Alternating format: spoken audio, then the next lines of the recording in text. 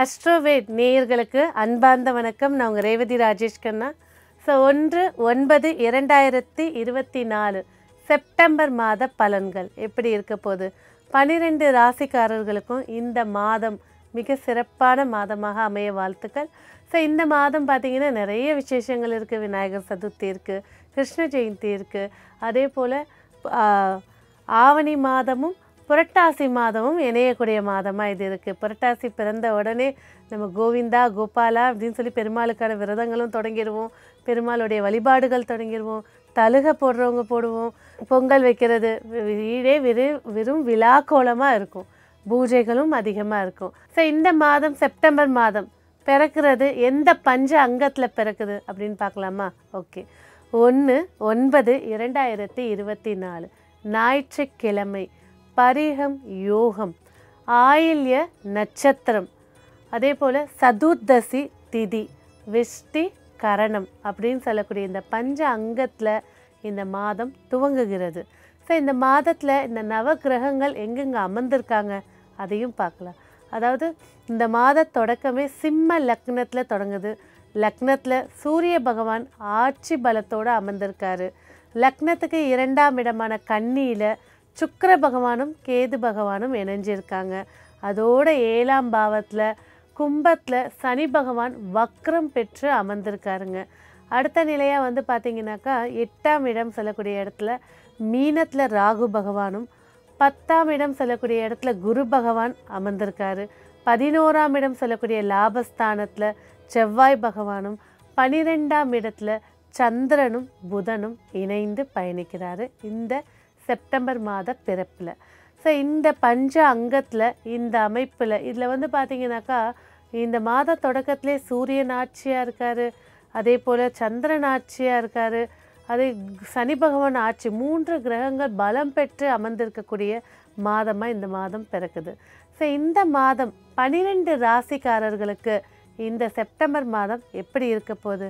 வாங்க விரிவாக பார்க்கலாமா? ஒன்று ஒன்பது இரண்டாயிரத்தி இருபத்தி நாலு விருச்சக ராசி நேயர்களுக்கு இந்த செப்டம்பர் மாதம் எப்படி இருக்க போகுது?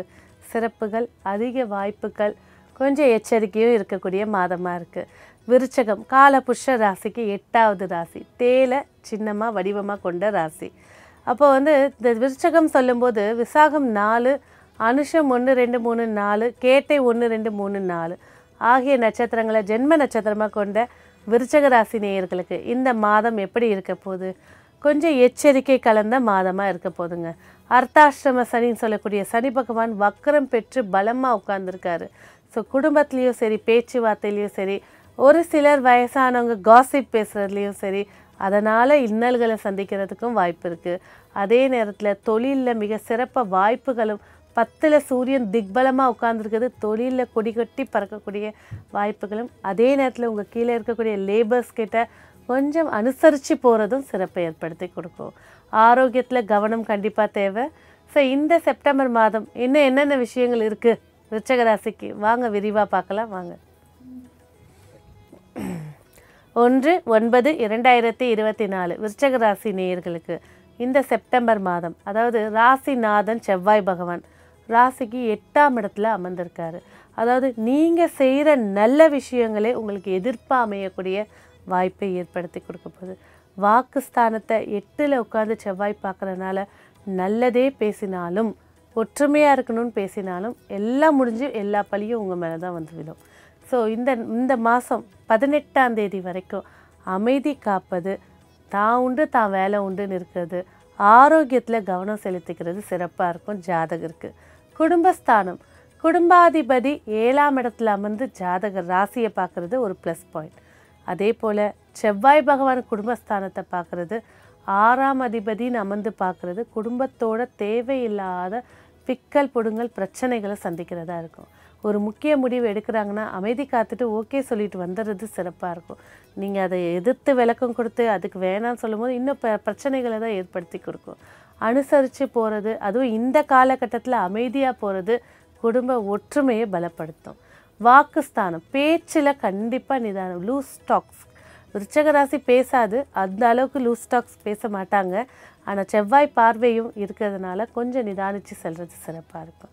முயற்சி ஸ்தானாதிபதி நான்காம் இடத்துல அமர்ந்திருக்காரு. முயற்சி ஸ்தானாதிபதி நாலாம் இடத்துல அமர்ந்திருக்காரு. வக்கரமாக அமர்ந்திருக்காரு. அம்மாவோட ஆரோக்கியம் கண்டிப்பாக ரொம்ப மோசமாக இருக்கக்கூடிய வாய்ப்பு இருக்கிறனால அதுலேயும் விருச்சக ராசி நேயர்களுக்கு சரி திசையோ ராகு திசையோ நடந்துச்சுன்னா இன்னும் கொஞ்சம் கேர்ஃபுல்லாக பார்த்துக்கிறது சிறப்பாக இருக்கும். ஐந்தாம் இடத்துல ராகு. கர்ப்பிணியாக இருக்கக்கூடியவங்க கண்டிப்பாக நிதானமான உங்களோட வேலைகளை முடிச்சுட்டு ரெஸ்ட் எடுக்கிறது சிறப்பாக இருக்கும். ஏன்னா அபாஷன் கிரகம் சொல்லக்கூடியது ராகு கேது.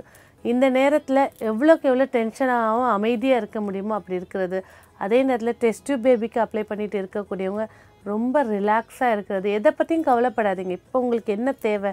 அதை மட்டும் முன் முழு மூச்சாக இருக்கிறது சிறப்பை ஏற்படுத்தி கொடுக்கும்.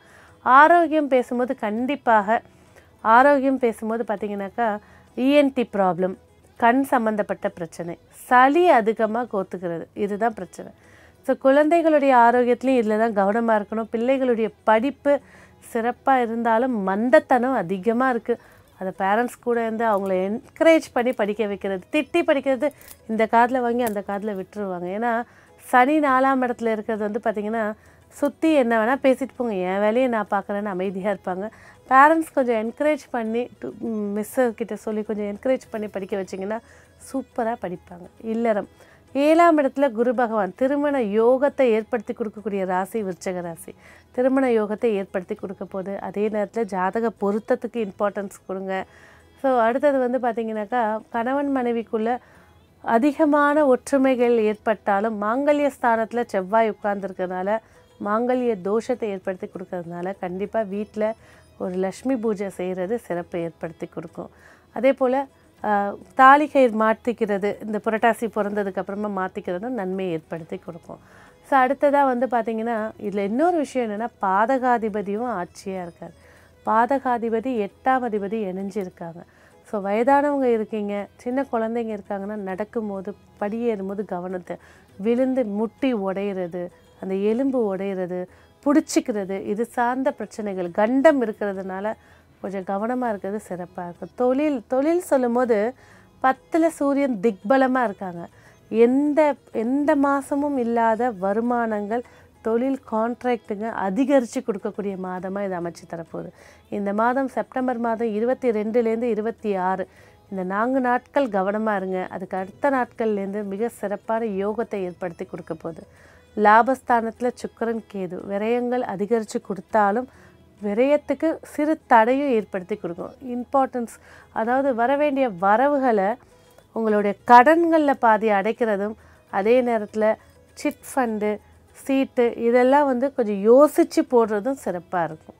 ஸோ மொத்தத்தில் விருச்சக ராசி நேயர்களுக்கு இந்த ஒன்று ஒன்பது இரண்டாயிரத்தி இருபத்தி நாலு செப்டம்பர் மாதம் மேலும் சிறப்பை ஏற்படுத்தி கொடுக்க உங்களுக்கான வெற்றிக்கான வண்ணம் அதாவது வந்து பார்த்திங்கனாக்கா லைட் க்ரீன் வெளிர் பச்சை அடுத்தது இந்த மாதம் உங்களுக்கான வழிபட வேண்டிய தெய்வம் காஞ்சி காமாட்சி அம்மன்.